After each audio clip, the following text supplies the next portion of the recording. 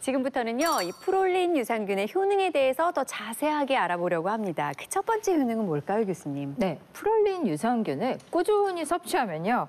사실은 우리를 살찌게 만드는 비만의 주범인 뚱보균을 없애서 다이어트 효과를 보실 수 있습니다. 네. 이 미국에서 실제 비만한 사람의 장내 세균을 살펴봤더니 90% 이상이 이런 유해균이었다는 아이고. 연구 결과도 아. 있었습니다. 균형이 완전히 깨진 거꾸로 상태. 9대 1이 된 네, 거예요.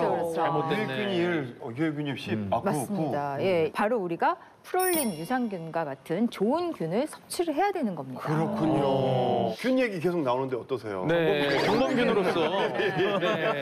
유해균, 무해균. 유해균인가요? 예, 유해균 뭐. 네, 저도 지금 유해균으로 활동을 하고 있는데. 네. 아, 뚱벽이는 아니고요. 뚱보 유익균이에요.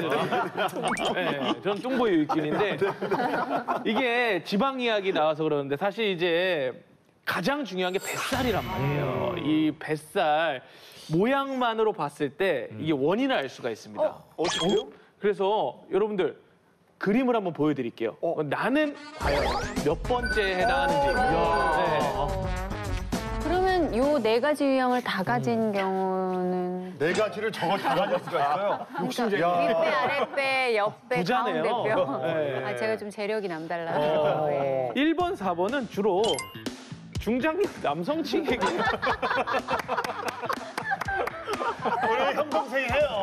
네. 저희 매니저도 저한테 형님이라고 하시더라고요. 예, 뭐 이렇게 해요. 어색하지 않아요. 네. 중장, 아, 중장년 뭐 남성들에게. 네, 숙련이고.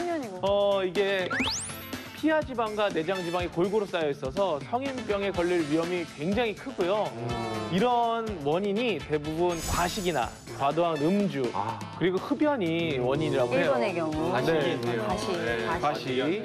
그리고 2번, 3번이 이제 여기는 안 계신데 이게 여성분들에게 많이 나타나는 건데요. 출산 후 복부 탄력이 좀 떨어지거나 혈액순환 장애, 변비, 운동량이 좀 부족한 게 2, 3번은 주로 원인이라고 어, 저 합니다. 정확해요. 저 1번이었다가 출산 후에 이가 나오기 시작했어요. 네. 그랬다가 그러니까 남성형이었다가 이제 출산 후 여- 여성의 비만도 합쳐진 케이스. 아, 아, 이거 합체, 변신? 아예 애만 안. 낳았어도 내가 1번에 머물 수 있었는데. 네, 아. 예.